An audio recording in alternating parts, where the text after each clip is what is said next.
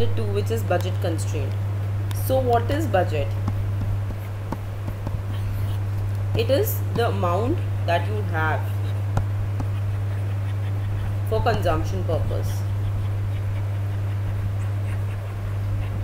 Now this can be only your income whatever you earn or it can also be income plus wealth whatever your ancestors left for you. So suppose they left some house for you and then you get some rent from this house and you earn some income. So this total becomes your budget. So budget is anything that you have for your consumption purpose. Constraint? There is always a constraint on the consumption. So for example if my income is 1000 then I cannot consume more than 1000 so the maximum consumption that can take place would be of rupees 1000 now let's talk about the following. Say the price of good 1 is 10 and the price of good 2 is 5 and so I'm consuming x1 units of good 1 and I'm consuming x2 units of good 2 then my budget constraint will be what? So I'm consuming x1 units into the price of 1 unit is 10 so the total amount that I'm spending on good 1 is 10x1 so for example um, say I have I'm consuming 5 units of good 1 and the price of 1 unit is 10 rupees so I'm spending 50 rupees on good 1 similarly if I'm consuming x1 units and the price is rupees 10 then the total amount that I spend is 10x1 again suppose I'm consuming x2 units of good 2 and the price is 5 so the total amount that I spend on good 2 is 5x2 now this should be less than or equal to the income of the consumer. Obviously so the amount that I spend on good 1 plus the amount that I spend on good 2 which is the total amount that you spend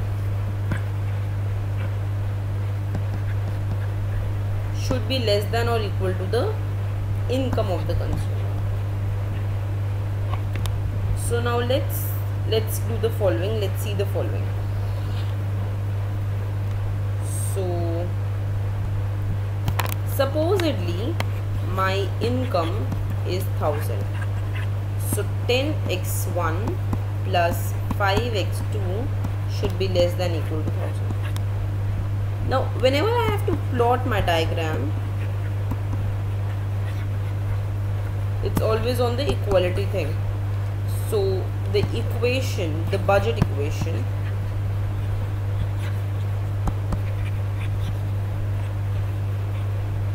will be 10x1 plus 5x2 is equal to 1000 now let's plot this. So on the x-axis I'm going to take good 1 and on the y-axis I'm going to take good 2 so for the x-axis I will put y equal to 0 so let's put x2 equal to 0 I will get this equal to 1000 by 10 similarly for the y-axis I'll put x equal to 0 so I'll put x1 equal to 0 and I'll get 1000 by 5 if I join this this is called the budget line. Okay? So in general terms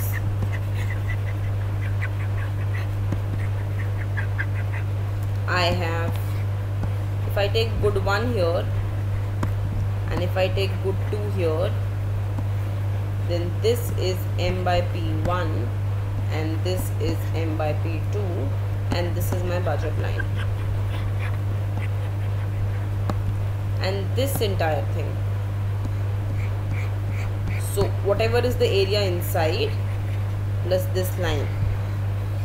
This entire thing is the area of less than equal to m income. So if I take a bundle here say I'm taking this bundle A so the total expenditure on good 1 plus good 2 is less than my income. And if I take a bundle here say bundle B which is on the line so the total expenditure is equal to your income. So if I talk about this point or I talk about this point both of them are affordable and both of them co constitute the budget constraint. Right? So then I have the following that this is my budget line m by p1 and m by p2 whereas this is my budget constraint. This entire thing. All right